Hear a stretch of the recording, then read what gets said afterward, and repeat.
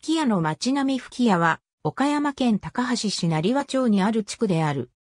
金属を精錬、鋳造する職業や職人、及びその細工場を吹屋と呼ばれていた。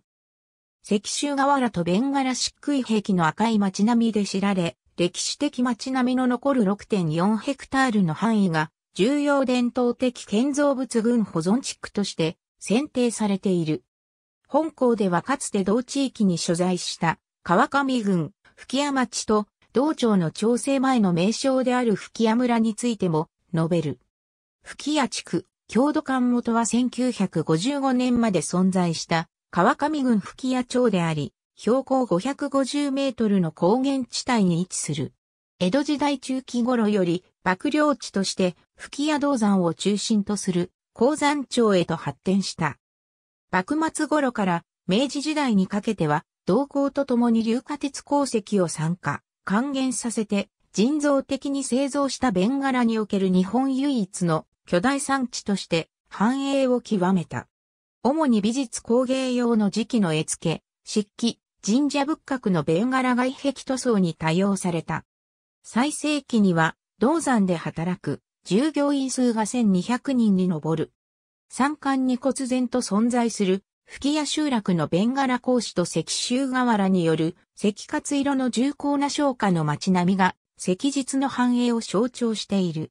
吹屋集落では、町並み保存地区や中野地区、坂本地区、下谷地区は、1974年に岡山県のふるさと村に指定された。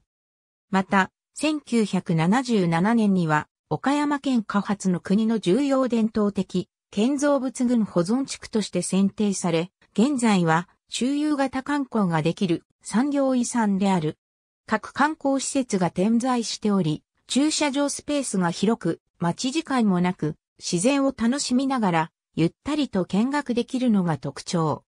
里山の固有の文化が残る、大変貴重な美集落である。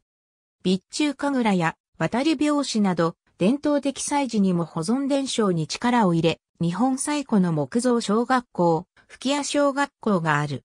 標高550メートルに位置する町であり、その立地上の関係から周囲に娯楽施設などは一切ない。商店や飲食店はあるが、店舗数は数えるほどしかなく、生活用品や食料など、まとまった量の買い物をする場合はバスでや自家用車などで約1時間かけて JR 白尾線の備中、高橋駅周辺まで出る必要がある。日中でも住民の外出はまばらであり、飲食店なども15時30分頃には閉店してしまい、出発するバスもその時間帯が最終便となる。